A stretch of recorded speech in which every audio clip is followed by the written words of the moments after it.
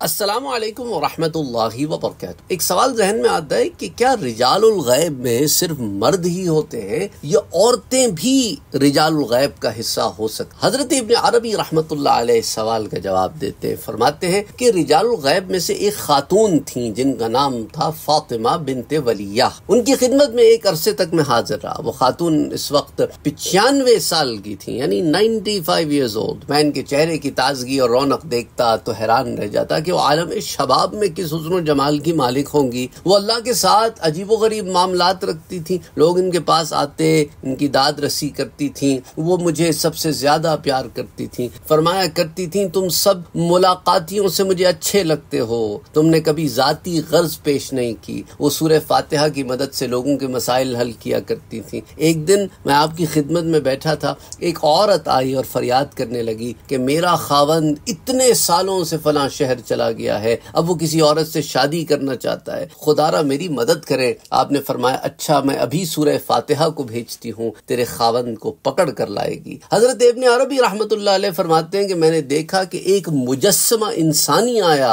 आपने इसे सूर्य फातिहा पढ़ने के बाद फरमाया, ए फातिहतुल किताब, फुला शहर में जाओ। इस औरत के खावन को पकड़ लाओ। मैंने देखा कि उसका खावन चंद दिनों के बाद अपने घर आ गया था। फुतुहात मक्किया बाब नंबर 73 सो इस वाक्य से हमें पता चलता है कि जो रिजाल गैब हैं, उनमें से कुछ ऐसे भी हैं जिनका ताल्लुक खातन से। अब चूँकि रिजाल गैब की ज़्यादातर कुतुब मर्द हजरात ने लिखी हैं, इसलिए हमें उन औरतों के बारे में ज़्यादा तफसीलात मालूम नहीं है जिन्हें अल्लाह वजल ने औलिया मस्तूरीन में रखा कि छुपे हुए जो अल्लाह है। जिस तरह मर्दों में विलायत है, इसी तरह औरतों में भी विलायत है। याद रखना, जैसे कि राबिया वसैया रहमत आप भी विलायत के दर्जात पर फाइज थी और इसी तरह और बहुत सारी खातन हैं और आप के सामने ये मामला भी रखा हुआ है कि अहले बैत से कितनी खातन हैं और उनमें से कितनी खातन हैं जो विलायत के किन किन दर्जात पर फाइज हैं। इनकी तफसीलात बहुत ज़्यादा ओपनली हमारे पास अवेलेबल नहीं है, लेकिन खातन की तरफ़ से सवाल आया था कि क्या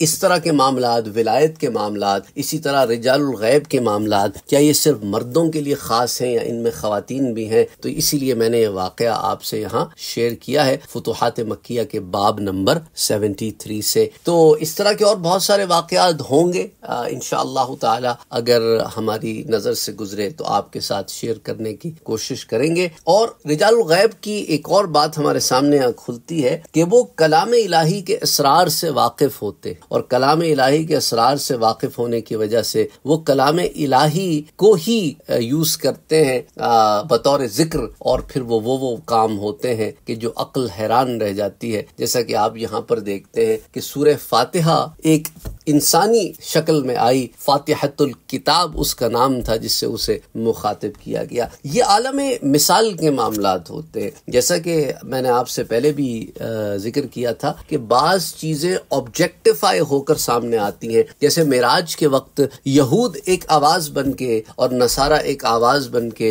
और दुनिया एक औरत बन के इसी तरह कयामत के दिन मौत और ज़िंदगी दो जानवरों की शक्ल में और इसी तरह और बहुत सारे मामला पे मैंने आलम मिसाल पर भी आपको एक दर्ज दिया कि आलम मिसाल से क्या मुराद है होती क्या। तो अगेन यू नो ये आलम मिसाल के मामला होते हैं कि यूँ किताबों को, चीज़ों को, जैसे कि कुरान गवाही देने आएगा, सूरतें कब्र में हिफाजत करने आएँगी तो गोया वो आलम मिसाल में एक फॉर्म लेकर सामने आएँगी। और इस तरह कई कब्रों में एक ही वक्त सूरह मुल्क कई लोगों की हिफाजत करने के लिए आएगी। अल्लाह सुबहाना व ताला बेहतर जानता है कि ये क्या मामला हैं अगेन अल्लाह ने जैसे कुरान में फरमाया कि वमा ऊती तुम मिनल इल्मी इल्ला कलीला तुम्हें इल्म तो दिया गया है मगर बहुत ही थोड़ा सा अल्लाह सुबहाना व ताला हमें तोफ़ी अता फरमाए कि हम ज़्यादा से ज़्यादा इल्म हासिल कर सकें और बामल मुसलमान बन सकें अपनी दुनिया और आखिरत को संवार सकें Assalamualaikum warahmatullahi wabarakatuh. Don't forget to like, share, comment, and subscribe. To Sayyid Saad Qadri.